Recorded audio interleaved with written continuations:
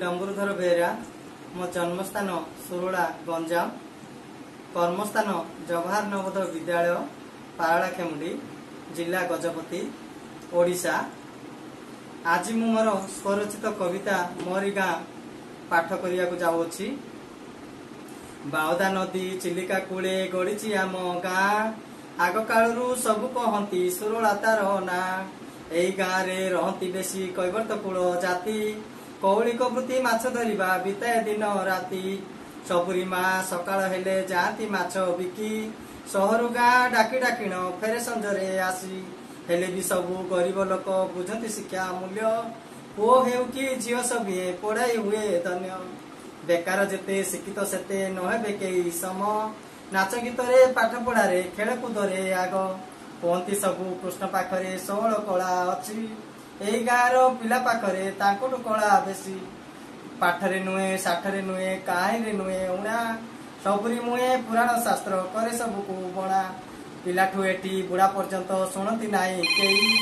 କହନ୍ତି ତିନି ହାତ ଚାଖଣ୍ଡ ନିଜ ହାତରେ।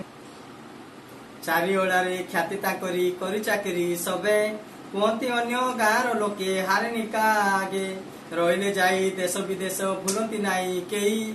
କହିଲେ କେହି ତା ଗାଁ କଥା ତଳେ ପକାନ୍ତି ନାହିଁ। ଦୂରରେ ଥାଇ ଗାଁକୁ କେବେ କରନ୍ତି ନାହିଁ ହେଳା। ପକାନ୍ତି ମନେ ପ୍ରତ୍ୟେକ ଦିନେ ଦିନକୁ ଦୁଇ ବେଳା। ଚୈତ୍ର ପୁନେଇ ଜାଗର ଯାତ୍ରା ଦୁଇଟି ବଡ ପର୍ବ। ନ ଆସି କେହି ରୁହନ୍ତି ନାହିଁ ଥିଲେ ବି କେତେ ଦୂର। ଗାଁର ପର୍ବ ଲୋକ ଗାଁର ପଡଇ ମନେ ସଦା। ଡାକୁ ନ ଡାକୁ ଆସଇ ଧାଇ କରଇ ଖାଲି ମଜା। ଗଲେ ଗାଁକୁ ସାଙ୍ଗସାଥିରେ ଚିଲିକା ନୀତି ଯାଏ। ଡଙ୍ଗାରେ ବସି ମାଛ ଧରିଣ ଆମ୍ବିଳା ଭାତ ଖାଏ। ଗଛ କହନ୍ତି ଶରଣ ପାଲି ଖେଳୁ ଭେଣ୍ଡିଆ ସାତେ।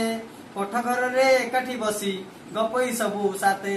ସେଇ ଗାଁରେ ଜନ୍ମ ହୋଇ ଛୋଟରୁ ବଡ ହେଲି। ତାରି ନାମ ତାରି ଦାନ କେମିତି ଯିବି ବୁଲି?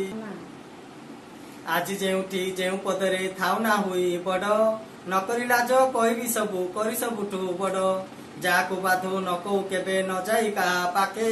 ମୁଁ ତ କହେ ସବୁରି ଠାରେ ମୋ ଗାଁ କରି ଆଗେ। କେହି ଖରାପ ଭାବିଲେ ବାବୁ ଯାଏନି କିଛି ମୋର।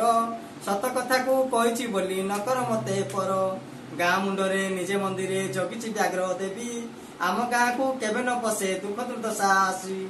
ଛୁଟିରେ ଯାଇ ସାଥୀ ମେଳରେ ମାଟି ହାଣ୍ଡିରେ ରାନ୍ଧୁ। ଭୋଗ ଲଗାଇ ଖାଇ ସବିଏ ହସ ଖୁସିରେ ଫେରୁ। ଏତିକି କହି ରଖୁଛି ମୁଇଁ ମୋର କଲମ ମୁନ। କହୁଛି ବୋଲି ନ ଧରୁ କେବେ। ମୋ କଥା ତୁମ ମନ। ଏପରି ମା ମୋରି ଗାଁ ତା ଭଳି କାହିଁ ନାହିଁ। ସକଳ ଦୁଃଖ ଭୁଲାଇ ଦିଏ। ଗଲେ ଗାଁକୁ ମୁଇଁ ଗଲେ ଗାଁକୁ ମୁଇଁ।